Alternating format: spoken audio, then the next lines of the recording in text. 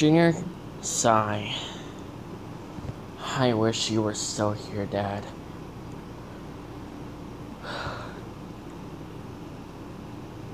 Me too, son. Me too. I wish I was still here. I wish I was still there too, but.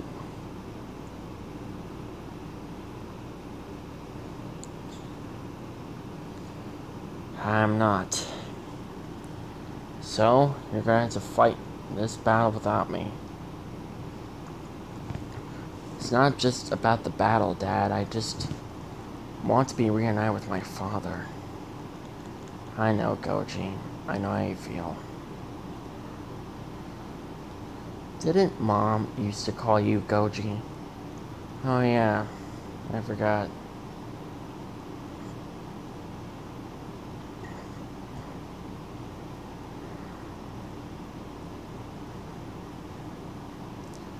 Well, anyways. I do miss you, son. I miss you more than ever. I wish I could come back. But I can't.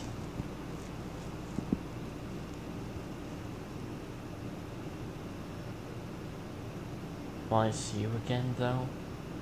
One day. Your son one day.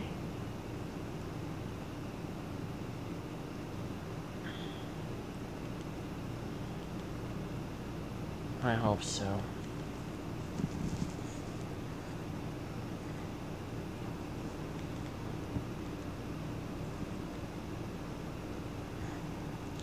Anyways, I gotta go. And remember, I'm I will always be in your heart.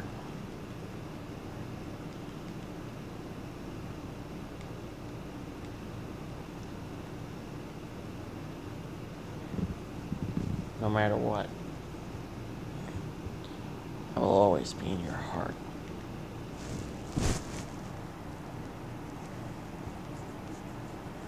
I know.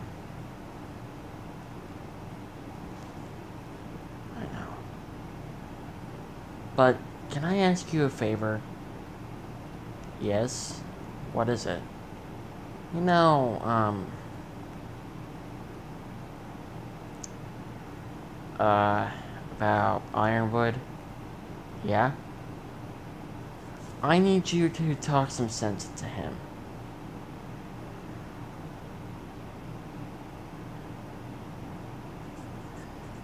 So, you think you can do that? Sure thing, son. Anything for you. Where is he? He's in the dungeon. Well, he's in the um, prison cells. You'll find him. Alright, thanks. When Asa Gutzel's ghost found General Ironwood's jail cell, well, he actually saw all that the well that Ironwood was asleep.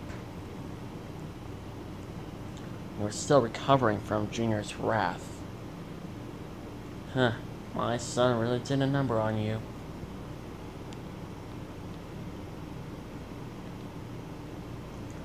Well, anyways, time to get down to business.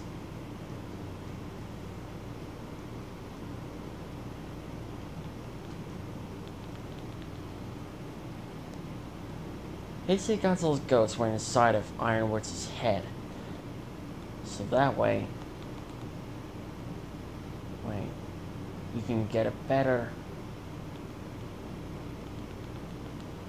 so that way you can have a little conversation with Ironwood. In Ironwood's mind,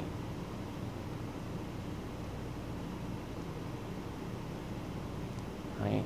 Ironwood was having a dream when he was still, well, the general. He was thinking on what he could have done to prevent all of this. It wasn't until long before he heard a voice. Well, well, well.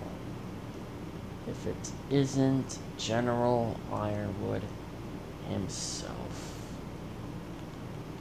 Ironwood turned around, but he couldn't see who was talking to him. Where are you? Who are you?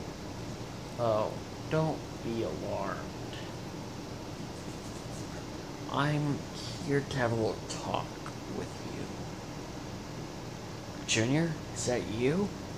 No, I'm not Junior. I'm his father. Ironwood was shocked and terrified. I've heard all the bullcrap about what you put my wife through. And I've heard all of your little evil plans. You don't deserve the title as General.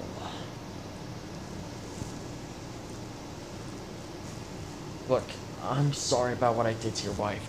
I am so, so sorry. Please don't curse me, curse me until the day I die. Don't worry. I'm not here to do that. I'm here to ask a few questions. And I am sensing a lot of hatred towards my kind from you. Let me ask, why do you hate my kind so much? And where did it come from? May I ask? Ironwood can help. Take a deep breath in and let it out. It began years ago. I think it was before you were born. But there was a Godzilla that attacked my city.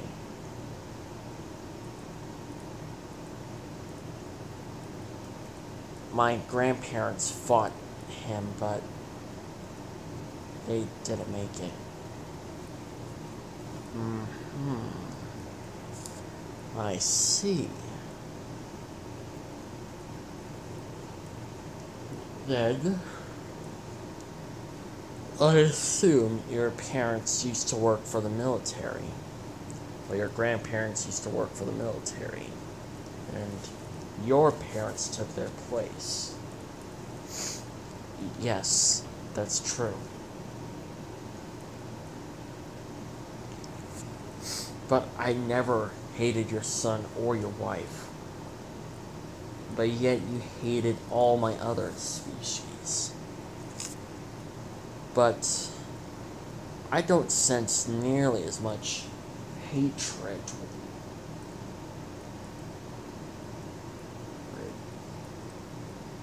I'll I sense a little bit of hatred towards my kind, but not as much as comparing to King Ghidorah.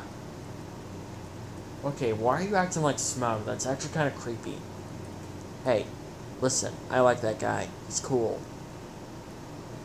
Anyways, what's up with that? Why do you hate King Ghidorah so much? And did you wish to prevent him from returning? Yes. I didn't want that three-headed devil to come back.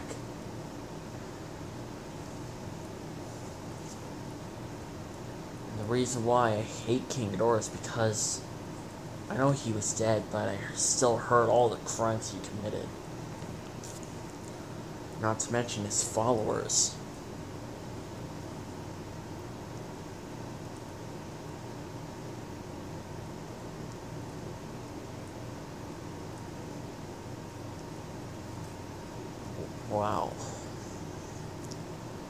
It seems that this hatred blinded you.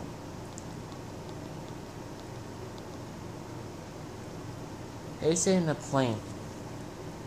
a little a little recorder, well, a little memory about when the general will threaten to destroy Mantle. Clearly, your hatred got the better of you. Your hatred ended up making you betray Team Ruby, make you become dark, cruel, and selfish. Your hatred and depression made you become a monster and not a word and not a good monster.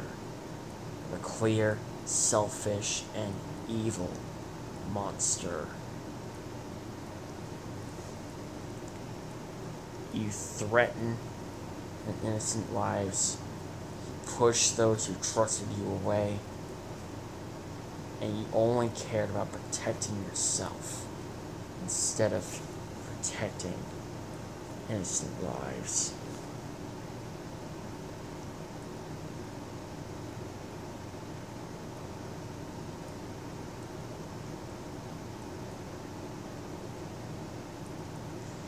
You let the Grimm take over your mantle and you completely destroy this kingdom on your own.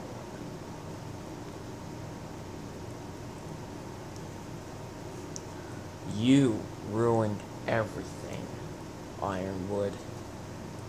Because of your burning hatred and depression, you cause everything to fall apart. My son is a better general than you can ever be. And I don't think the people of this kingdom will ever accept you. They will hate you until the day you die. You had friends. You had family. And you betrayed them all. Uh, will be very, very disappointed in you. You're lucky I didn't bring his spirit with me. Otherwise, you would have been having a conversation with him instead of me.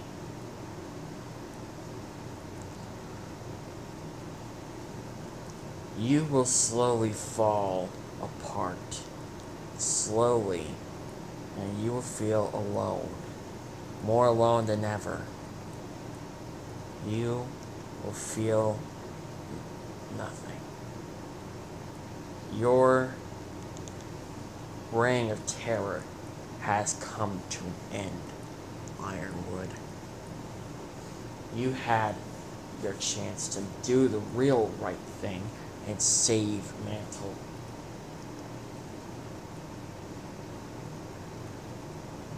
But you blew it. And now you will carry these scars on you until the day you die. And you will now and forever regret this mistake. You not only betrayed my trust and my son's trust, but you even betrayed the world's trust.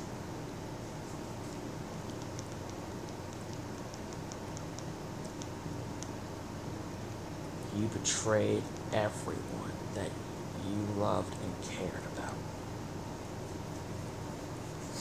They will not accept your apology. They will hate you. They will wish for your death to come slowly and painfully.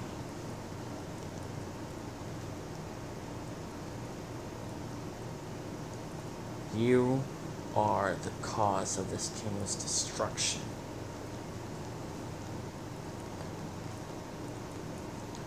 You are the reason why this kingdom is destroyed. You are pathetic, Ironwood. You are nothing without your huntsmen and huntresses.